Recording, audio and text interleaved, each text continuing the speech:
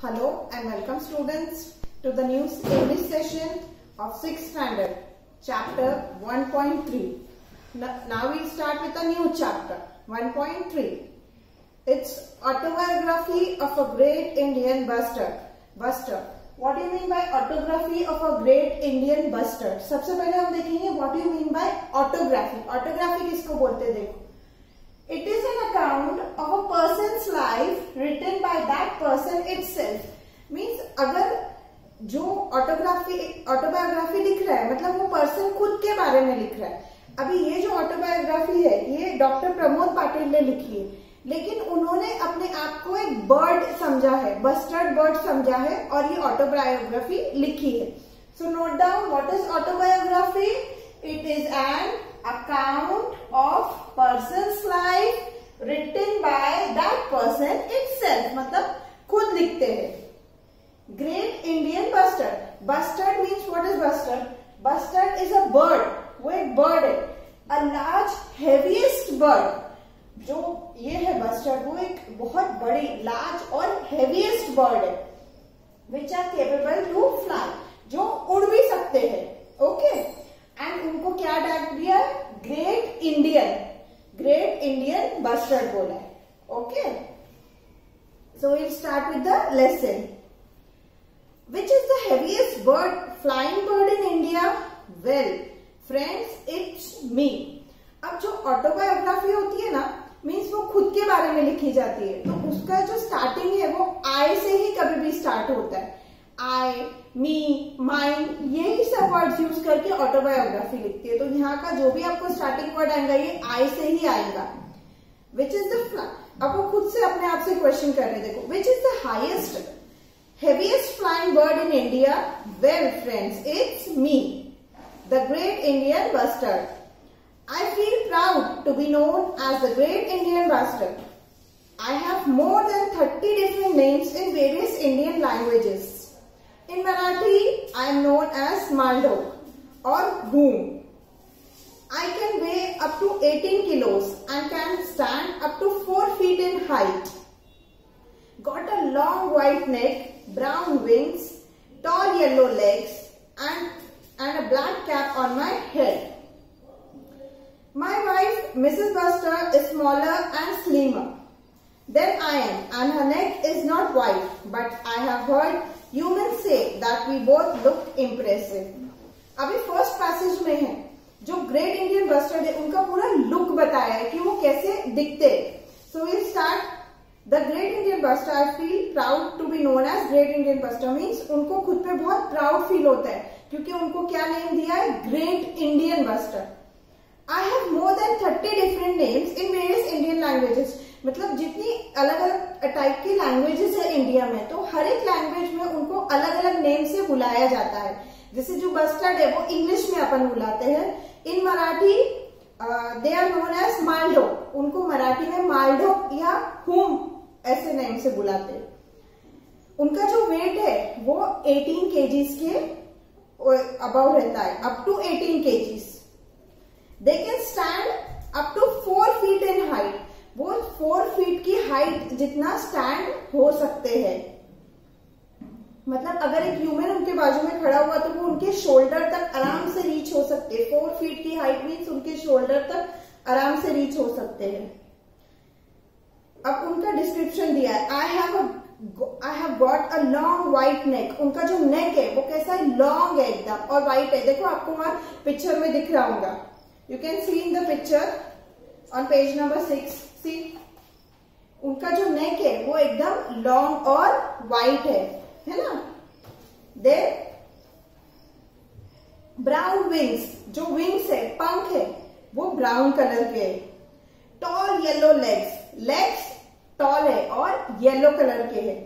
And a black cap on my head वो ऊपर से ऐसे ब्लैक कैप जैसा बना हुआ है। Five my wife Mrs bustard is small and slimmer उनकी उन्होंने उनको क्या बोला उनकी जो वाइफ है मतलब फीमेल बस्टर जो होती है वो उनसे छोटी है साइज़ हा, हाइट में और स्लिमर है थोड़ी बारीक है स्लिमर मीन्स थोड़ा पतला। And the neck is not white और जैसे जो मेल बस्टर्ड है उनका जो नेक है वो वाइट है लेकिन जो फीमेल होती है उनका जो नेक होता है वो वाइट नहीं होता है। But I heard human say that we both look very impressive मतलब उन्होंने बोला कि मैंने ह्यूमंस को, इंसानों को बोलते सुना हो कि ये जो है कपल मेल एंड फीमेल ये बहुत इंप्रेसिव बहुत अच्छे लगते हैं। यह you can form a simple simple question also जैसे what what the great Indian bustard called in Marathi in Marathi the great Indian bustard is called as Maldo है ना? How is the neck of Maldo how high is the neck of great indian buster.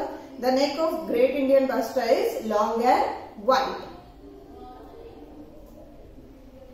तो ऐसे question आप form कर सकते हो. Next paragraph I live on grasslands and deserts along with my other friends including chinkara blackbuck and larks I eat everything including snakes lizards small fruits and berries and all sorts of insects.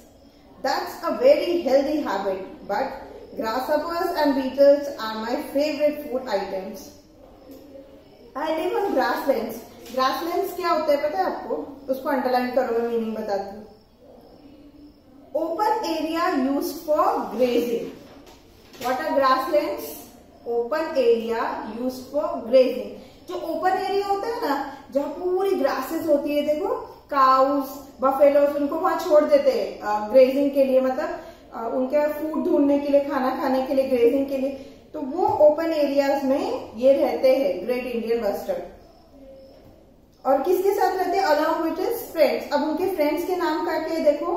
Chinkara black buck and larks ये कौन है? ये friends है great Indian bustard के। Who are the friends of great Indian bustard black buck and larks are the friends of great Indian bustard I eat everything including snakes, lizards, small fruits and berries, all sorts of insects.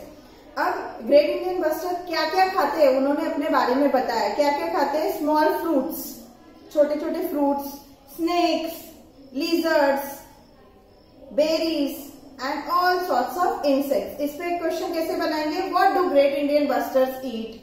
What do great Indian buster eats? Great Indian buster eats snakes, lizards, small fruits and berries and all sorts of insects. That's a that's a very healthy habit. But grasshoppers and beetles are my favorite food items. अब उनके favourite food items क्या है grass uppers है और Beatles है तो what what are the favourite food items of great Indian bustards yes Grasshoppers and beetles are the favorite food of Great Indian Bustard. Next paragraph. When it starts raining, we all gather at our favorite grasslands where there are no people to disturb us.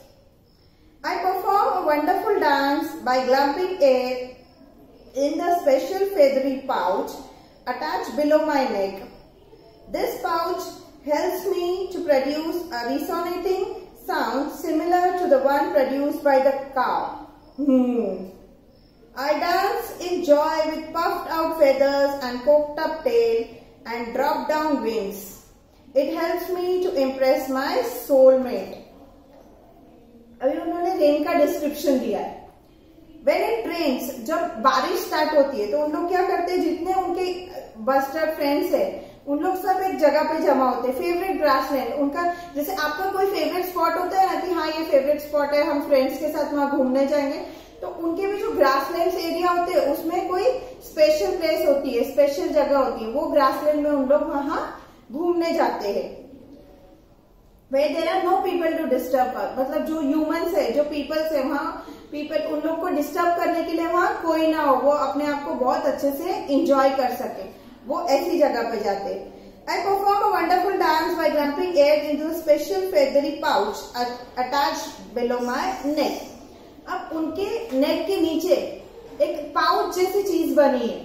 तो वो क्या करते हैं? जैसे बारिश आती है तो वो हवा में भागते हैं। और भाग के पूरी जो हवा है, वो पूरा नेक के अंदर जाके वो पाउच में कलेक्ट कर लेते। पूरी एयर वो पाउच में कलेक्ट कर लेते। वो भागते हैं तो जो एयर आती है मुँह में, वो पूरे वो पाउच में कलेक्ट कर लेते हैं। और आफ्टरवर्ड्स क्या करते हैं, वो पूरी पाउच से वो हवा छोड़ते हैं। और जब वो हवा बाहर निकलती है तो काव कैसे साउंड करती है ना? वैसे साउंड उनके वो पाउच से आता है। Okay I dance enjoy with puffed out feathers and cocked up trails and drop down wings मतलब वो जब डांस करते हैं तो वो कैसे सिचुएशन होती है, वो ये बता रहे जो उनके फेदर्स होते हैं वो कोक्टअप होते हैं। And tail drop down in the drop down और टेल नीचे होती है। It helps me to impress my soulmate और उससे उन लोग उनका क्या करते हैं? सोलमेट है। सोलमेट मतलब जो फीमेल बस्टर्ड होती है उनको वो इम्प्रेस करते हैं ये चीज़ें करके। जो इवन uh, जो एनिमल्स होते हैं वो भी फीमेल को इम्प्रेस करने के लिए कुछ ना कुछ करते हैं। तो ये चीज़ बस्टर्ड करते हैं। ये चीज़ देख के जो फीमेल रहती है ना उनकी वो उनसे बहुत इम्प्रेस हो जाती है ये सब चीज़ें देख के। Okay students so now we end with part one यहाँ हम पार्ट वन का सेशन एंड कर रहे हैं। इसके आगे की जो स्टोरी है, वो हम पार्ट टू में देखेंगे। Okay thank you